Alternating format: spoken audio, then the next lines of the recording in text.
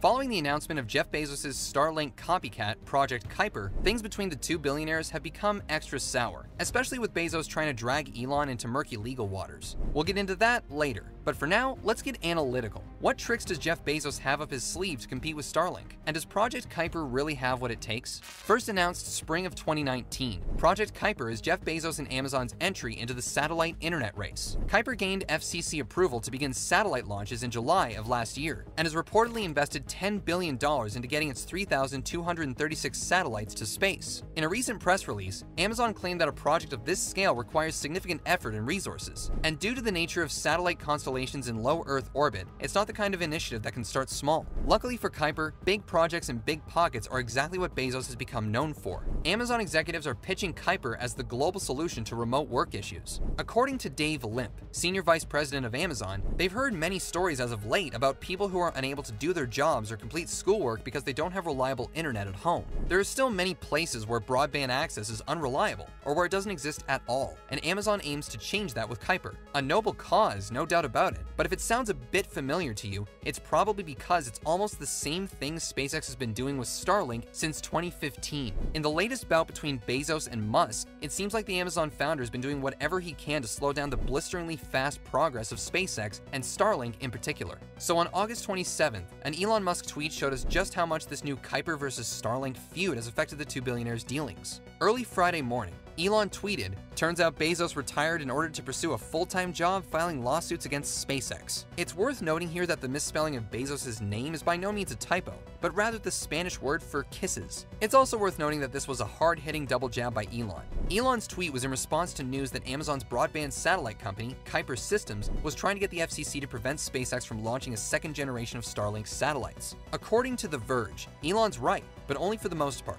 This case in particular doesn't appear to be a formal lawsuit. What's become clear as day, especially after these events, is that Bezos and his various companies seem particularly keen on taking a if I can't have it, no one can approach to space exploration by repeatedly targeting its most prominent competitor with legal obstacles. So how do the two rival satellite providers compare? Well, Amazon's Kuiper system has yet to launch any satellites of its own, so that means we'll only be doing a deep dive on Starlink. Starlink is currently powered by around 1,740 low Earth orbit satellites, which serve an estimated 90,000 customers. The service first rolled out with a beta program targeted at select consumers for $99 a month, and in the past year has begun looking to test the network for aviation service in-flight and expanded to large moving vehicles as well, like ships and trucks. While Starlink is still in beta, SpaceX recently said that the network has about 90,000 users in 12 countries so far, with over half a million orders or refundable deposits placed by future customers. On top of that, SpaceX is seeking permission from the FCC to launch 30,000 additional satellites on top of the nearly 12,000 it already has a license for. The plan, known as the Starlink Gen 2 system, also informed the FCC exactly where the new satellites will be positioned around the world. In the amendment filed with the FCC, SpaceX wrote, This Gen 2 system was designed to complement the first generation constellations SpaceX is currently deploying. While the original constellation provides unprecedented capacity for a satellite system, the demand for more broadband continues to grow unabated,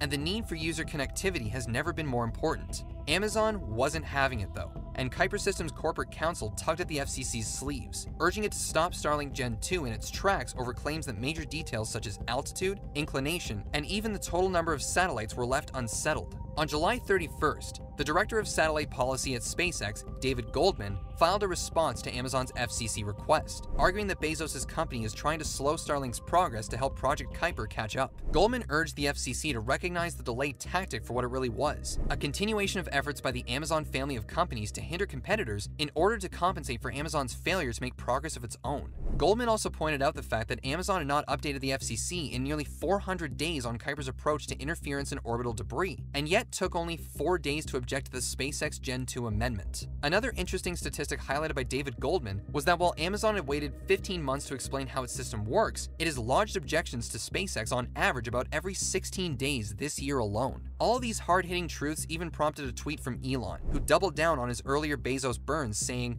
filing legal actions against SpaceX is actually his full-time job.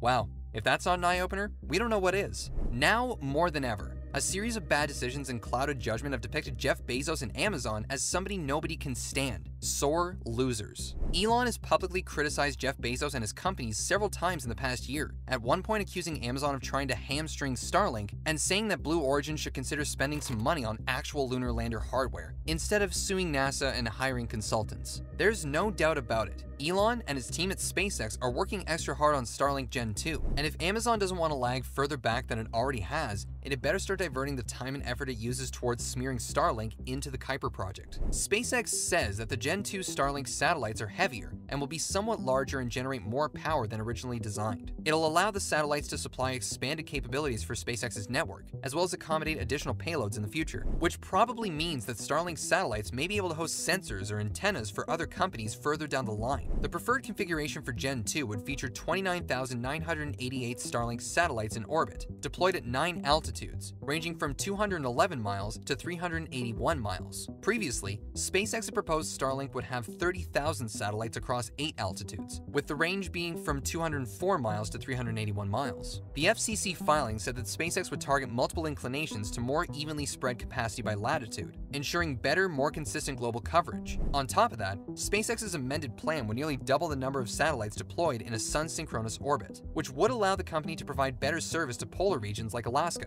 The filing also noted that SpaceX has invested in advanced propulsion capabilities for its satellites, so the collision risk with large objects is considered to be zero, while at the same time, the spacecraft is fully capable of maneuvering. When a Starlink satellite malfunctions, SpaceX disposes of the satellite by re-entering the Earth's atmosphere so it burns up and disintegrates.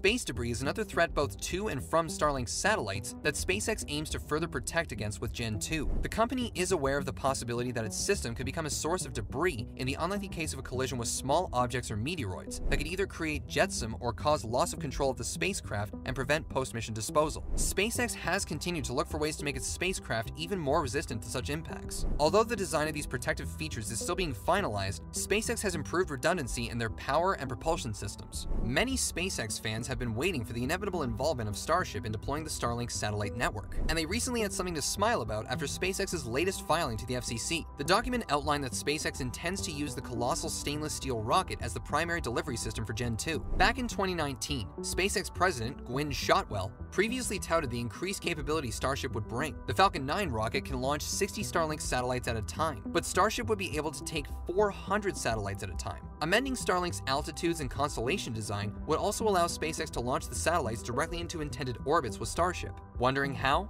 According to SpaceX, the revised orbital planes would enable single-plane launch campaigns that capitalize on the ability of Starship to deliver satellites at a faster pace by not necessarily requiring a waiting period for orbital precession in a parking orbit. SpaceX could deploy satellites into their operational orbits within a matter of weeks after launch, rather than months. In case Starship is not operational by the time Starlink Gen 2 systems start launching, SpaceX did include a deployment plan for the Gen 2 satellites that continues to utilize its Falcon 9 rockets. Meanwhile, fans of Amazon will have to wait until 2023 for the very first Kuiper satellite launch by United Launch Alliance. Yes, there won't be a Blue Origin spaceflight for the newest addition to the Bezos fold. And if you'd like to air your grievances about that, you can find Jeff Bezos and Amazon's Kuiper systems at a courtroom somewhere in the US, desperately trying to throw a wrench into SpaceX's plans for Starlink.